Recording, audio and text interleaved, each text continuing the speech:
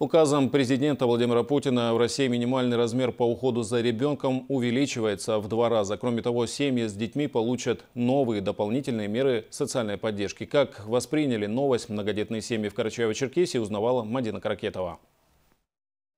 По 10 тысяч рублей на каждого ребенка от 3 до 15 лет включительно. Жительница Черкесска и мать десятерых детей Наталья Климова не скрывает своей радости от такой замечательной новости. Финансовая помощь для семьи, в которой есть дети, всегда кстати, особенно если детей очень много.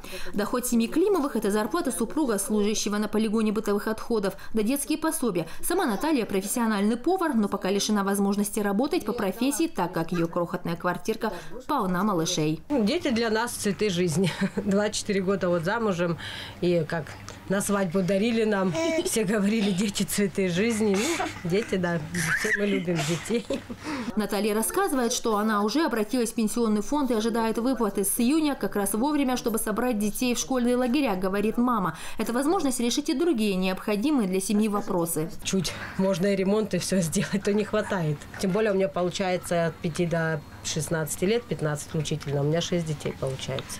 Еще, говорю, оглянулись, чтобы нам квартиру. Я не могу на учет стать, я не могу справки собрать, поэтому я даже не этот вот квартира, хочу квартиру. Единовременные 10 тысяч на ребенка не единственная мера социальной поддержки, озвученная президентом страны. Наталья Климова была приятно удивлена, узнав и о других. Пособие по уходу за ребенком до полутора лет, которое мы выплачивали неработающим гражданам в соответствии с федеральным законом 81 о государственной социальной помощи увеличивается в два раза. То есть в случае рождения первого ребенка до полутора лет выплачивали 3375 рублей, рублей и это пособие теперь увеличивается в два раза. А значит, сумма пособия составит 6751 рубль. Вводится указом Владимира Путина и новая мера социальной поддержки семей, имеющих детей от 3 до 7 лет включительно. С 1 июня будет осуществляться размер выплаты на каждого ребенка будет составлять 5 5200 рублей.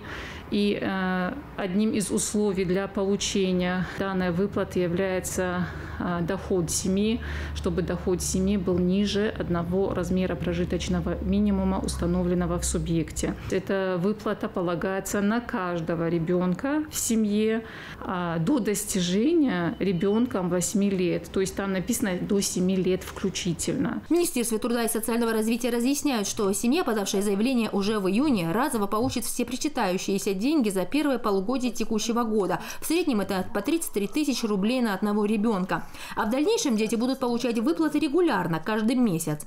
Семья Климовых как раз попадает практически под все меры соцподдержки. Это значительно подняло дух Климовых. Наталья, несмотря на стесненные условия, в которых живет ее семья, старается поддерживать стремление и увлечение детей, развивать их таланты. Одна из дочерей показывает успехи в футболе, другая неплохо рисует. У мальчишек свои таланты и нужды. Мать семейства Наталья рассказывает, что ее семье периодически оказывается поддержка, в том числе и на республиканском уровне. А новые меры, которые озвучил Владимир Путин, вынесут качество их жизни на новый уровень. Мадина Каракетова, Али Бастанов, Рашид Токов, Вести Карачаева, Черкесия.